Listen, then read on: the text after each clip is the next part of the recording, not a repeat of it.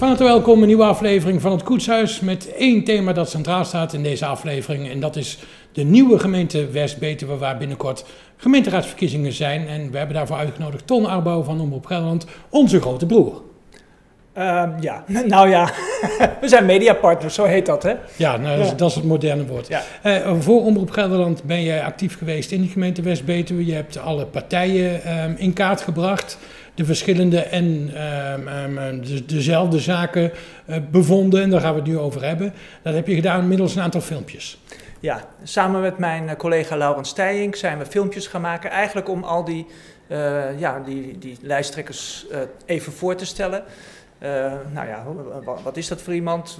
Wie kies je eigenlijk in die raad als je op die dame of heer stemt? Om de En- persoon. Om de persoon, heel kort even.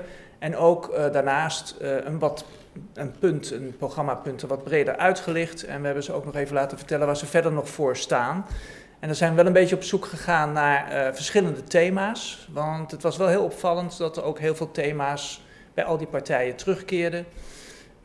Nou, heel veel partijen die, die zijn bijvoorbeeld voor ehm, ja, bouwen in de kleine kernen. Dat, hè, dat kleine kernen leefbaar moeten blijven. En dan moet je ook weer zorgen voor nieuwbouw, omdat er dan weer ja, nieuwe gezinnen daar eh, zich kunnen vestigen. Hè. Of als je het huis uitgaat, dat je toch in het dorp kan blijven wonen. Valt er dan wat te kiezen?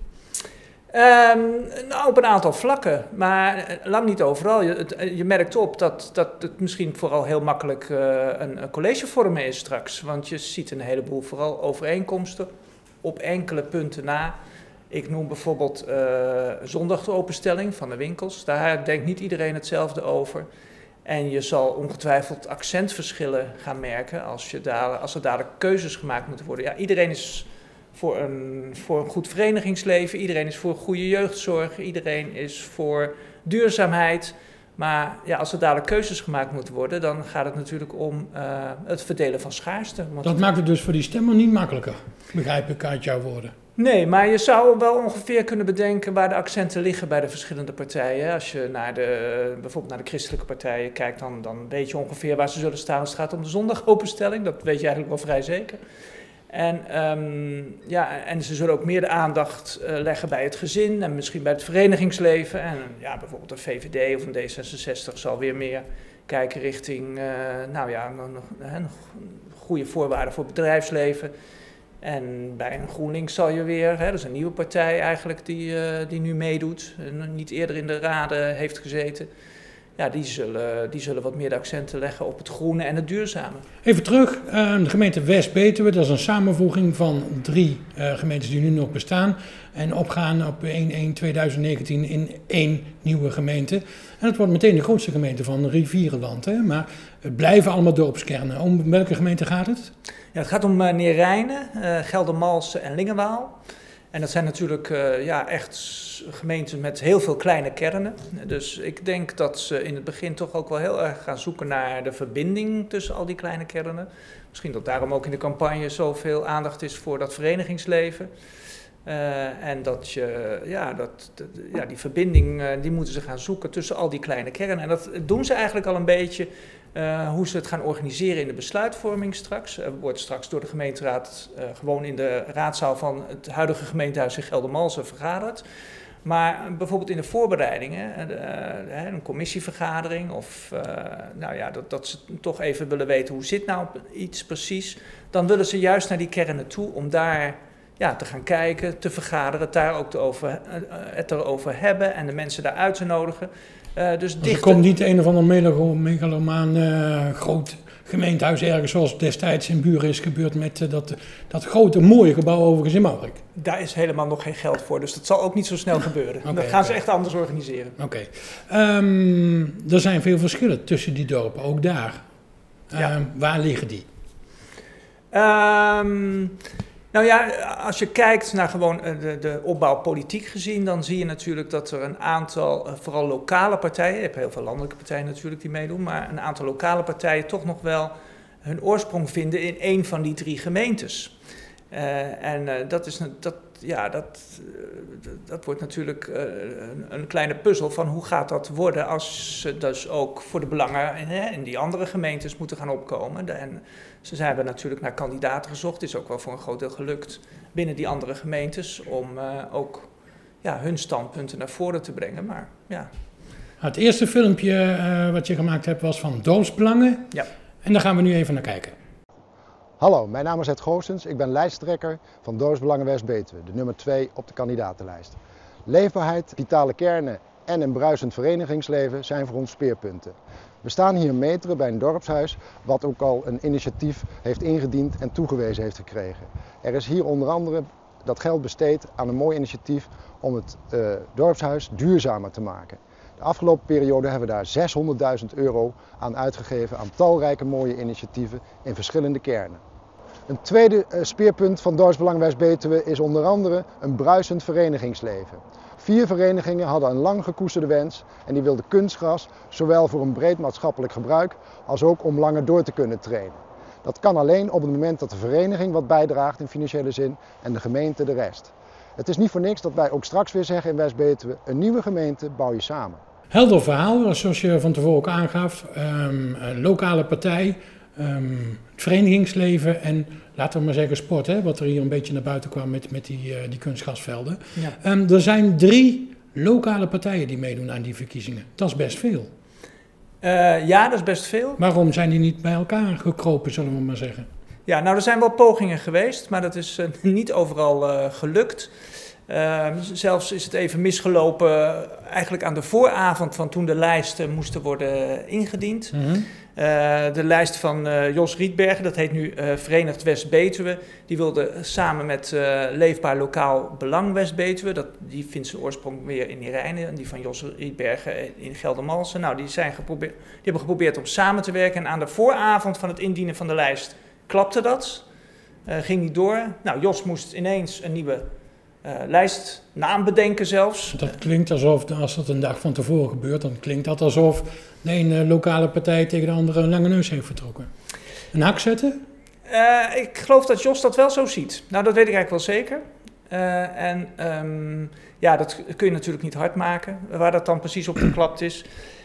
maar ja, dat, dat voelde niet goed. En het is ook een beetje misgegaan op dat vlak, want de naam die hij bedacht heeft, die is eigenlijk niet op een goede manier of op het goede moment ingediend. Uh, daar is de kiesraad ook nog aan te pas gekomen. Die heeft gezegd van ja, dit had eigenlijk niet gemogen. Die naam had eerder gedeponeerd moeten worden. En, eigenlijk, en, ja. en, toch gebeurt, had eigenlijk niet op de lijst moeten staan. Alleen een lijstnummer, dat, dat waren de regeltjes. Maar goed, dit is nu zo gebeurd en het blijft zo. Um, de SGP, dat is de tweede waar we naar gaan kijken. Ja. Wat kun je daarvan vertellen? Uh, ja, een partij met een lijsttrekker die uh, komt ook uit het, uh, uit het Geldermals. Dus daar zijn we het filmpje ook gaan opnemen. Want ze hadden eigenlijk een opmerkelijk punt om naar voren te brengen. Dat zien we zo meteen. Ik ben Laurent van Brugge, lijsttrekker van de SGP. Ik woon in Meteren en ik leid een technologiebedrijf.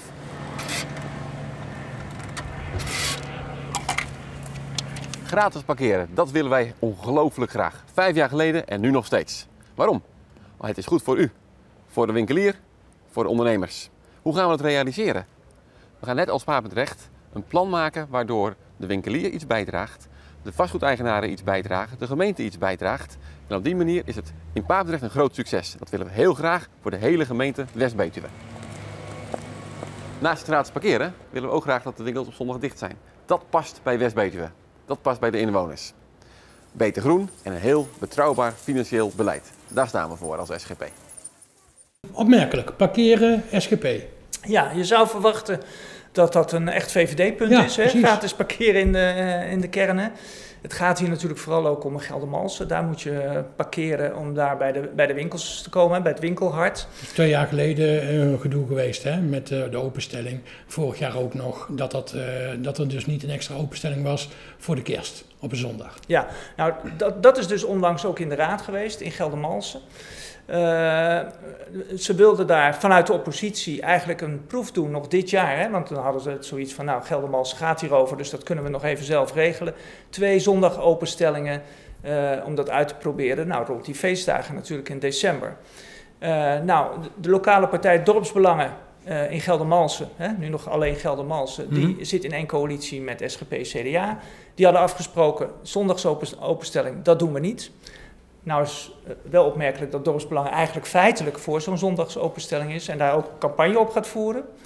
Uh, maar ja, ze hebben geconstateerd, we zitten in een coalitie en dat zitten we tot aan het eind. Dus we houden vast, geen zondagsopenstelling. Komt er dus niet. Nou, wat valt nu op hier in dit SGP-filmpje? Um, ja, ze zijn voor uh, gratis parkeren voor de kern. En ze zijn natuurlijk tegen een zondagopenstelling. Nou, dan zou je kunnen denken, dit is een soort zoenoffer hè? Van, uh, van, ja, naar, de, Ja. Naar, naar de lokale ondernemers toe. Uh, dit, uh, nou, dit kunnen we wel voor jullie betekenen. Het zou misschien extra bezoek kunnen genereren als, uh, als je niet hoeft te betalen. En nou ja, dat, die zondagsopenstelling, dat zijn we gewoon heel principieel in en dat, dat willen we niet. Um, in de Betuwe zien we dat daar de SGP de grootste partij is. Hoe zijn die verhoudingen in uh, de huidige plaatsen? Dus ik heb het nu over Geldermalsen, over Neerijnen en Dingenwaal. En hoe gaat dat eruit zien? Wat verwacht jij? Ja, ze zijn natuurlijk ook een flinke partij in Geldermalsen. Uh, dus ik denk dat ze wel een, ja, dat ze flink veel zetels zullen halen. En als je gaat kijken, als bijvoorbeeld op coalitievorming aan gaat komen, dan, dan zou ik me kunnen voorstellen dat een heleboel, naast en CDA en natuurlijk eh, ChristenUnie, die ook meedoet, dat dat een stevig blok zou kunnen gaan vormen. Uh, en uh, nou ja, dan heb je het ook over landelijke partijen, die misschien heel goed uh, zijn in het, ook de, de contacten met de provincie en Den Haag, wat heel goed is. En als je daar uh, bijvoorbeeld uh, aansluiting zou kunnen vinden met één of meer lokale partijen. Ik denk niet dat het allemaal tegelijk in één coalitie kan. Ik denk dat dat niet zo. Wat druk. Ja, en dat het misschien ook net niet die klik heeft, laat ik het zo zeggen. Mm -hmm. uh, dat dat een stevige blok zou kunnen vormen voor een, voor een nieuwe coalitie. Um, die SGP, die, die, ook ondernemers zitten daar veel in. Ja. Maar de echte ondernemerspartij van vroeger uit, dat is de VVD. Ja. Wat heb je daar kunnen signaleren? Nou, ik heb daar zelf persoonlijk met, uh, met de, de lijsttrekker gesproken. Hij zegt zelf, ja, ik zit wel eigenlijk een beetje aan de linkerkant van die VVD. Hmm. En uh, waar hij ook de nadruk op legt, dat is eigenlijk uh, ja, dat het een partij is die dus ook zijn tentakels heeft bij de provincie en in Den Haag om zaken voor elkaar te krijgen. En dat, ah, hebben dat is toch minimaal? Ja, dat kun je zeggen. Maar officieel zijn er natuurlijk wel die contacten. Hè. Je hebt natuurlijk wel iets kortere lijntjes dan dorpspartijen, lokale niet. partijen, die, die dat helemaal niet hebben. Nee, oké. Okay. Dus uh, ja, een, een, telefoontje of een brief komt dan toch meer aan uh, bij een provincie of bij het Rijk. Van, uh, nou ja, wij willen dit graag voor elkaar krijgen of we hebben hier eens aandacht voor. Dan bij een lokale partij. Dus daar willen ze wel een punt van maken. De promotiefilm van de VVD in West-Betuwe, daar is nu de hoogste tijd voor. Mijn naam is Edwin Loef, woonachtig in Meteren, lijsttrekker voor de VVD in onze nieuwe gemeente West-Betuwe. De nieuwe gemeente West-Betuwe is centraal gelegen in het land met heel veel infrastructuur. Dat zorgt voor heel veel uitdagingen zoals het hoogfrequent spoor hierachter. Om die de baas te kunnen heb je een goede bestuurderspartij nodig. Een partij die zijn ingangen heeft in Den Haag en in de provincie. Wij als VVD zijnde zijn zo'n partij.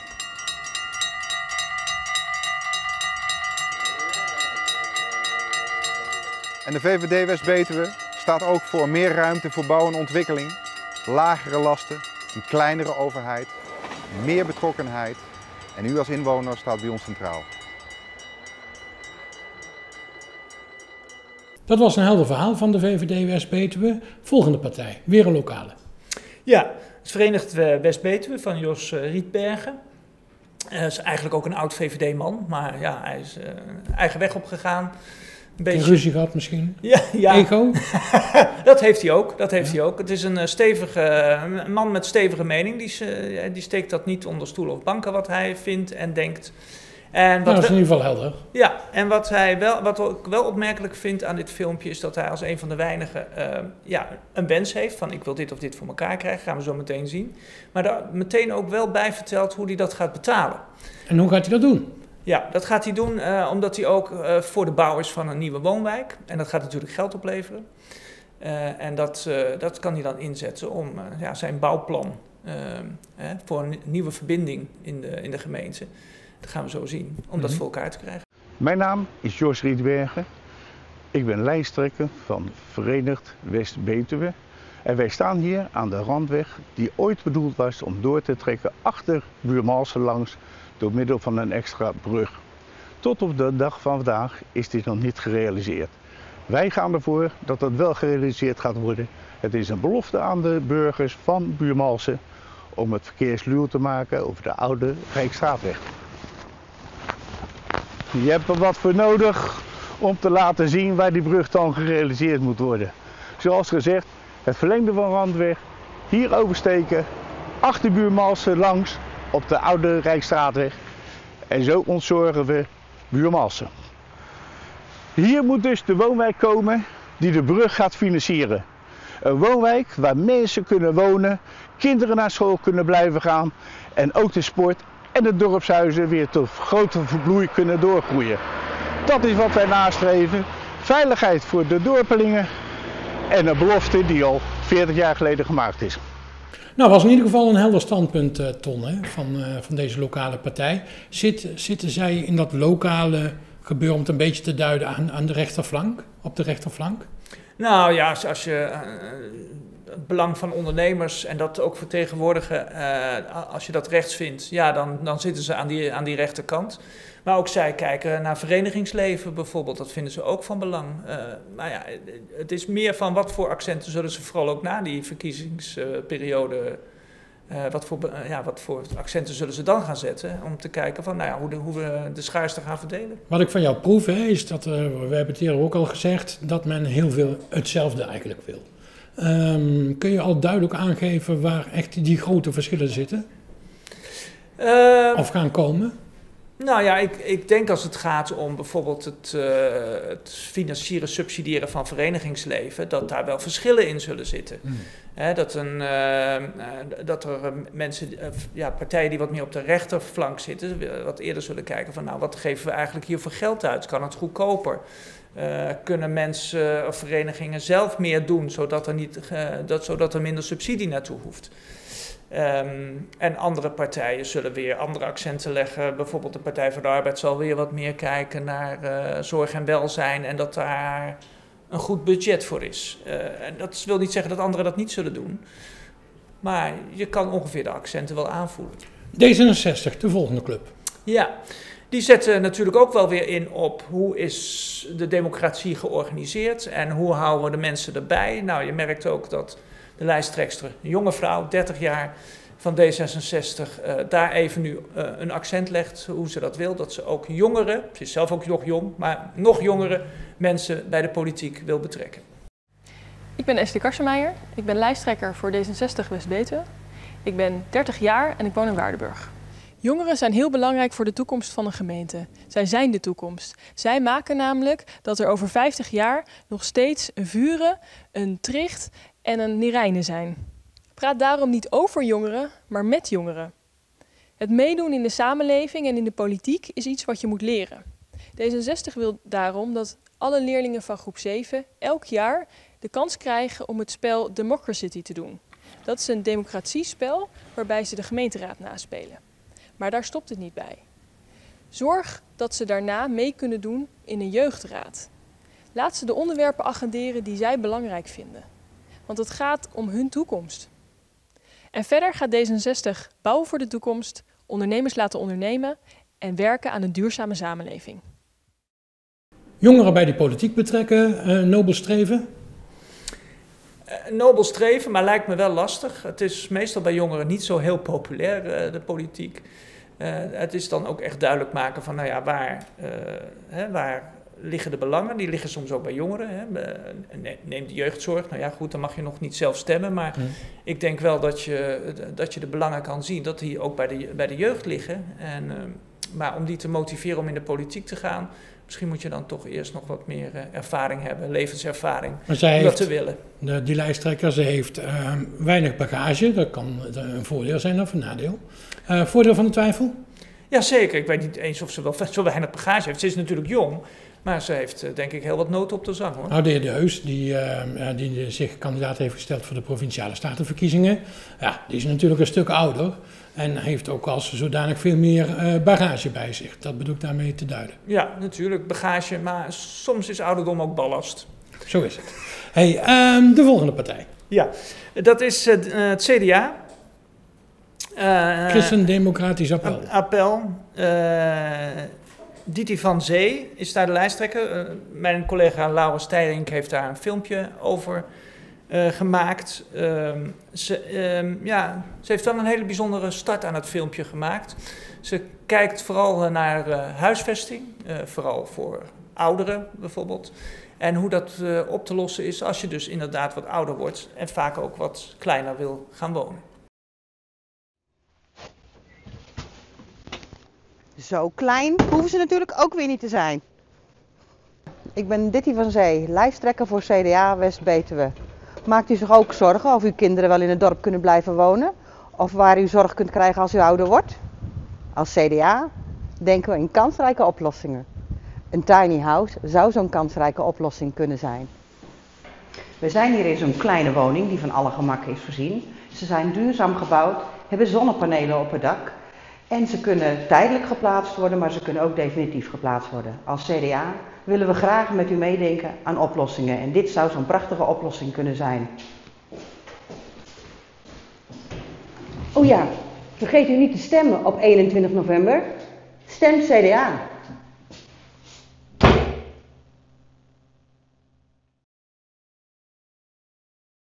woningbouw is natuurlijk een issue. Hè? Um, zijn er veel partijen die daarop inzetten. Er moeten meer huizen komen. Vooral ook in die kleine kernen. Bijna alle partijen zetten daarop in. Goed. Ja, uh, ze willen allemaal eigenlijk bouwen in die kleine kernen. Uh, het liefst natuurlijk in al die kernen, want dan, dat houdt die dorp levend. Je kan bijvoorbeeld, hè, als je uit huis gaat, ook nog in de buurt blijven wonen. De vraag is alleen, er is natuurlijk ook provinciaal beleid. Dat is allemaal wat lastiger. Dus je moet, maar ze willen daar in ieder geval allemaal wel een punt van maken dat die dorpen blijven leven. Eigenlijk zonder uitzondering. Oké, dus het verhaal van, de PvdA, van, van het CDA, dat is geen uitzondering. Nee, maar misschien wel de insteek die ze dan net kiezen. Oké, volgende partij. Ik ben Annette Eijf, lijsttrekker van de Partij van de Arbeid. Ik woon in Buurmalsen. Ik werk vier dagen in de week voor vluchtelingenwerk. En sinds zes jaar zit ik in de Raad van Geldermalsen. Hoe zit het met je toeslagen, huurtoeslag, zorgtoeslag? En dan gaan we daarnaast zetten van waar geef je geld aan uit? Het schuldhulpmaatje is een fantastisch initiatief. We zijn als gemeente verantwoordelijk voor schuldhulpproblematieken. we moeten mensen helpen die in de problemen zitten. En ik vind het enorm belangrijk dat er naast de formele rol van de gemeente, die gewoon goed geregeld moet zijn, ook initiatieven zijn zoals het schuldhulpmaatje, waar mensen proberen voordat de problemen uit de hand lopen, mensen te helpen om te voorkomen dat het echt grote problemen worden. De Partij van de Arbeid wil goed sociaal beleid. De wachtlijsten in de jeugdzorg moeten weggewerkt worden. We willen goed minimabeleid. We willen betaalbare woningen in alle kernen, ook in de kleine kernen. Zowel voor jongeren betaalbaar, maar ook doorstroming voor ouderen. En we willen natuurlijk onze bijdrage leveren aan de duurzaamheidsagenda. Uh, de Partij van de Arbeid. Uh, staan zij nog steeds voor die normen en waarden van vroeger? Nou ja, je merkt ook weer aan dat filmpje net dat ze ja, insteken in ieder geval op de categorie zorg en welzijn. Hè. We, we hebben net gezien. Zorgen voor de zwakkeren. Voor de zwakkeren, hè, schuldhulpverlening zoals we net gezien hebben. Is dat een issue in die nieuwe te vormen gemeente? Uh, de problematiek is natuurlijk niet zo sterk als in de grote stad. Maar ook daar is het nodig. En ook daar vind je die schulphulpmaatjes ook in de dorpshuizen. Um, dus ja, ik denk dat het ook wel nodig is. Maar de Partij van de Arbeid is op dit moment nog niet een hele grote partij in die, uh, die drie gemeentes. Dus het, uh, ja, de accenten die, die leggen ze ook daar op deze manier. En als je daar ja, als je daar brood in ziet of dat belangrijk vindt, nou ja, dan ga je die kant op als kiezer. Uh, ChristenUnie. ChristenUnie, ja. Uh, legt natuurlijk ook weer de nadruk op uh, het verenigingsleven, maar natuurlijk ook op familie en natuurlijk op, op de christelijke waarden. en ja, hun lijsttrekker die, ja, die zoekt toch even de, de, de speelgelegenheden op, wat natuurlijk te maken heeft met kleine kinderen en met gezinnen, dat dat allemaal goed geregeld is, ook in die kleine kernen. Ik ben Fred Temming, ik ben uh, fractievoorzitter van de ChristenUnie. En wij gaan uh, meedoen aan de verkiezingen in de gemeente West-Betuwe. Wat voor de ChristenUnie heel belangrijk is, dat zijn speelvoorzieningen in de kernen. We staan hier in Asperen. Volgende week wordt hier een nieuwe uh, speeltuin geopend. En daar zijn we met elkaar heel trots op. En dit willen we ook graag bereiken voor alle andere kernen in West-Betuwe. We staan hier in de nieuwe sporthal in Asperen. ontstaan uit een burgerinitiatief. Die wordt gebruikt door de scholen en door meerdere verenigingen. De ChristenUnie vindt het verenigingsbeleven heel belangrijk en willen dat steunen. Wij pleiten ervoor om de OZB voor verenigingen te compenseren en wij pleiten ervoor dat zij kunnen lenen tot 50.000 euro. Verenigingsleven en ChristenUnie. 21 november, aan u de keus. Ehm, ook weer een helder verhaal van die ChristenUnie, duidelijk. Um, waar ik jou nog niet over heb horen praten is duurzaamheid. Is, is dat een thema wat gaat spelen of wat speelt? Ik weet niet of het een groot thema is, maar je ziet het wel bijna overal weer terug. Natuurlijk met name GroenLinks. Hè. Hij is elkaar na papegaaien of zitten er ook daadwerkelijk wel een goede realistische plannen tussen? Nou, duurzaamheid is altijd al een thema geweest dat eigenlijk vanuit twee kanten wordt aangevlogen. Aan de ene kant de milieukant. Het is gewoon belangrijk voor ons allemaal om uh, ja, voor de toekomst om een goed milieu te hebben, om uh, minder CO2-uitstoot te hebben.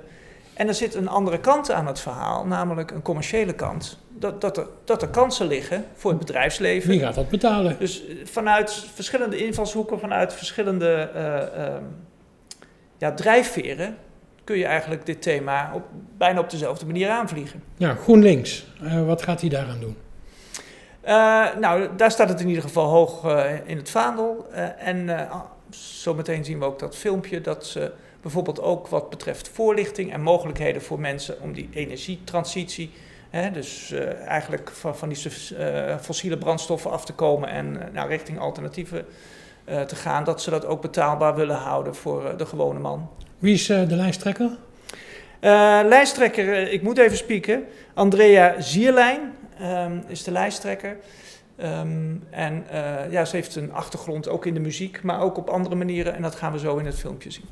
Mijn naam is Andrea Zierlijn en ik ben de lijsttrekker voor GroenLinks West-Betuwe. Ik woon al 22 jaar in Akkooi en ben opgeleid als muzikus. Tegenwoordig ben ik ZZP'er en werk als projectleider voor het Rode Kruis. Die energiecoach die komt bij jou aan de keukentafel en die, uh, nou, die helpt je gewoon verder op het gebied van uh, wat er allemaal mogelijk is in je woning op het gebied van energiebesparing. Dit is het Centrum voor Duurzaamheid De Knop in Geldermalsen. Iedereen in West-Betuwe kan hier terecht voor allerlei activiteiten, voor een advies over je huis, helemaal op maat, zoals hier ook gebeurt. En GroenLinks vindt het heel erg belangrijk dat er zo'n centrum is, wat laagdrempelig is en waar iedereen gewoon zo naar binnen kan lopen. En natuurlijk vindt GroenLinks het heel erg belangrijk dat in de energietransitie iedereen kan meedoen, ook de mensen met een smalle beurs. Verder is ons programma de open bestuurscultuur heel erg belangrijk. Open naar elkaar en naar alle inwoners. Uh, de derde lokale partij, leefbaar, lokaal, belang, best Betuwe. Betuwe, een, het is mond, een, een mond vol. Een, het is een mond vol, ze moeten zelf misschien zelf nog even repeteren. hey, uh, Ton, uh, waar maken zij nou het verschil mee ten opzichte van die andere twee lokalen? Ja, dat is nog heel lastig te zeggen. Ze hebben hun oorsprong in ieder geval ergens anders, namelijk in Neerijnen. En dat hebben die andere lokale partijen niet. Um, en um, ja, het is dus aan hun om ook te laten zien dat ze ook voor de belangen van die andere dorpen uh, op kunnen komen. En zij zitten, um, ze zijn ook wel voor dat verenigingsleven, maar uh, je zou kunnen zeggen dat ze daar wat voorzichtiger in zijn als het gaat om de besteding van het geld. Want ze willen vooral dat het geld dan ook wel goed besteed wordt. Je zou kunnen zeggen dat ze dan misschien wat meer op de rechterflank zitten. Ze vinden het wel heel erg van belang, dat ga je ook zo in het filmpje zien. Maar ze letten toch wat meer op de centen. En uh, ja, ze willen heel goed luisteren naar de burger, willen, uh, roepen ook alle partijen. Doen ze allemaal natuurlijk. Doen ze allemaal. Ja. Ik en, zou wel eens een keer een partij willen zien die zegt van wij luisteren niet naar u, wij gaan gewoon onze eigen gang. Nou ja, of uh, soms is dat wel helder van wij gaan hiervoor en als u daarvoor bent, sluit, ons bij, sluit je aan. Ander verhaal. Dat, zou, ja. dat zou ook wel eens handig kunnen zijn. Ja. ja, maar zij willen heel goed naar die, naar die bevolking luisteren en natuurlijk ook ja, opkomen voor die lokale belangen in die, in die dorpskernen. En ja, dan raak je misschien het grotere plaatje, dan raak je misschien een beetje kwijt, maar dat gaan we zien. In Rijn hebben ze dat gedaan. Uh, het is aan hun om te laten zien dat ze dat ook in Lingenwaal kunnen gaan doen en in Geldermalsen. Ja, en hier is een begin. Ik ben Petra van Kuilenburg, ik ben de lijsttrekker van Leefbaar Lokaal Belang West-Betuwe. Ik woon in Waardenburg en ik werk bij Johan's Healthcare. Ik zet me eigenlijk al 12, ruim 12,5 jaar in voor de politiek in Rijnen en ik hoop dit voor te kunnen zetten in januari voor de gemeente West-Betuwe. Het verenigingsleven is voor ons een belangrijk uh, item. Zoals hier ook uh, in Haafden in de Burg, waar op dit moment uh, ook gesport wordt. En wij willen graag dat de Burg ook heel goed draait, zodat er samen cohesie wordt in de kern. Verder staat Leefbaar Lokaal Belang West-Betuwe voor transparantie, problemen benoemen en niet verbloemen, inwoners bij het beleid betrekken en voor het digitale netwerk. Ook het mobiel, want 112 kan hier vaak niet gebeld worden. Helder verhaal door al die filmpjes. Eh, dank daarvoor. Geeft in ieder geval een beetje inzicht van wat er gaat gebeuren. Nu even uh, beschouwen. Um, de kwaliteit. Gaat die nou omhoog? Blijft het hetzelfde? Is het meer van wat er al was?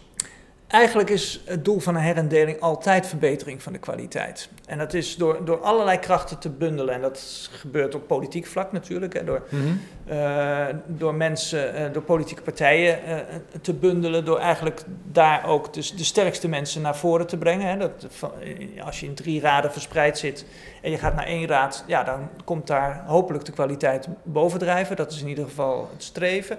En dat is natuurlijk ook op ambtelijk niveau zo, dat je ja, uh, daar meer de, de, de kennis bundelt en misschien ook wat meer uh, vlees op de botten hebt om kwaliteit binnenboord te krijgen of te houden. De 21ste zijn die verkiezingen. Hè? wat gaat Omroep Gelderland daaraan doen? Hoe kunnen, kan, kunnen mensen dat blijven volgen? Nou, natuurlijk ook in het nieuws. We gaan er in het nieuws aandacht aan besteden. En op de avond zelfs ook op onze website natuurlijk updates uh, blijven we geven. En in de ochtend ook op radio uh, analyse. En uh, voor die tijd zullen we ook de nodige dingen presenteren in het nieuws van, nou, dit speelt er. nou ja, er gaat een bus toeren door de, door de gemeente, meer dan een week lang, met al die politieke partijen die zich daar aan kunnen sluiten, gaan we ook aandacht aan besteden. En jij zit er bovenop? Ik zit er boven. Tom, ehm, een, een exit poll, gooi hem er eens in. Oh, daar ga ik me niet aan wagen. Nee. Durf je dat niet? Nee, dat durf ik niet. Nee? Nee, nee. nee ik, ben geen, uh, ik heb geen uh, onderzoek gedaan. Ik ben geen Maurice de Hond. Nee, zover ga ik niet. Alle, het kan alle kanten nog op. Uh, ja, maar ik denk ook wel dat, dat de lokale partijen samen met de christelijke partijen een stevig blok gaan vormen in die nieuwe raad. Nou, hoe dan ook, we gaan het meemaken. Mag ik je danken voor het gesprek? Graag gedaan. Tot zover deze aflevering van het Koetshuis. We zijn er volgende week weer. Graag tot dan.